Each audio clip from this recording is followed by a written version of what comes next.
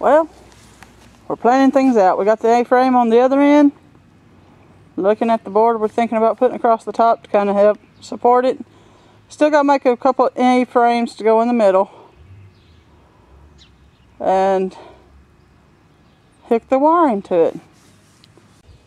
We have got all the A-frames put in and finally figured out how to unwind this roll of wiring so that we can stretch it across here and make us a bird covering for our strawberries. It's coming right along. Hopefully we'll be getting her done soon.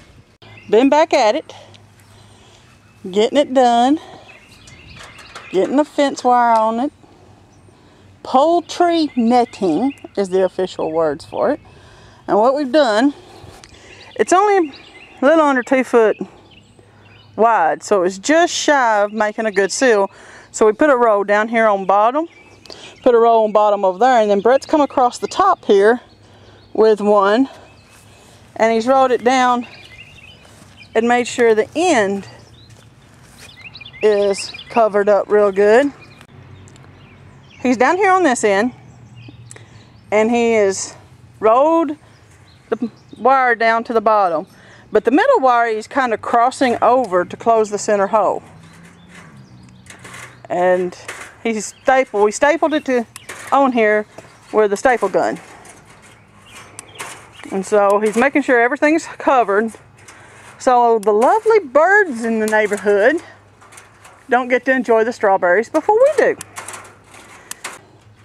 We also are going to put down um, What'd you say, two by tens? Put two by tens around the base. We're gonna put two by tens around this portion right here.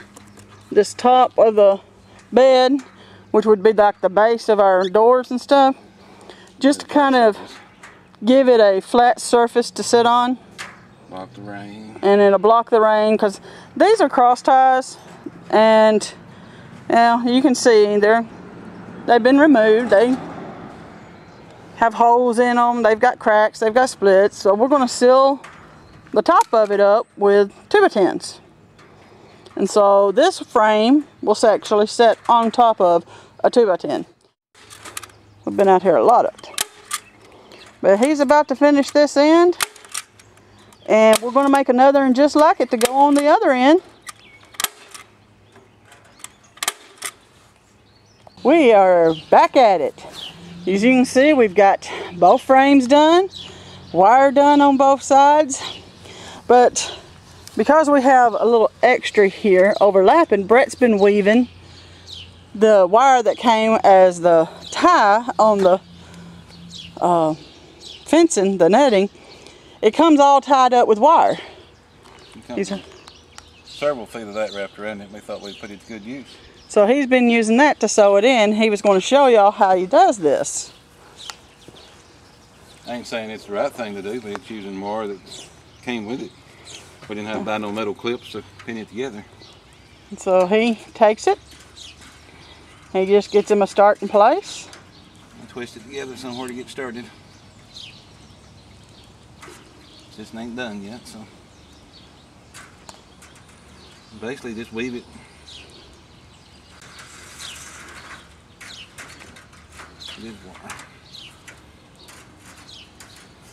Weave like, it back and forth and kind of make it fill in where the seam is. It'll kind of follow the seam if you get it pretty close. Starting out's a little rough, but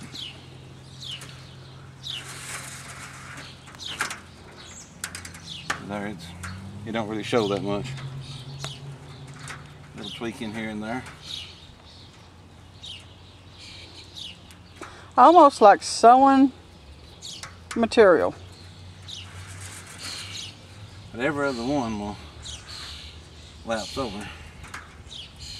And one of them I'll just go across.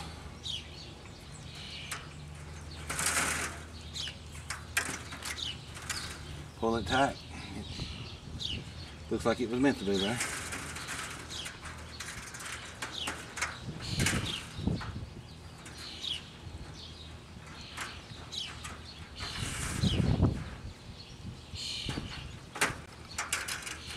Don't make a bad looking seam. Nope. That's why this, all of them's done but this one. That's the last one there. This is the last one. We thought we'd show you what he's been doing. That's how I tie them together anyway. Yep. You can usually buy clips at a big hardware store that'll, uh, you can just crimp them on there, but we seen the bar and thought, why not use it? We don't have a big hardware store, so we'd have to travel somewhere to get it. We just use what we got at hand. They're both built and they're both ready to go. We've got our two by tens. We don't have them on there yet. But they're stacked over here to the side. We got to put our hinges on, our boards around it, but they're heavy enough. Our boxes will stay on top anyway, our wire covered little boxes, as you call them, our little teepees. Our little rooftops. It took quite a bit of time to tie the wire together and make everything look pretty neat, but I think it'd be well worth it. We got some good looking berries in there. We got to protect. Hope this was a good video for somebody to watch. Maybe inspire them to do something or do something better. Hope you enjoyed. God bless.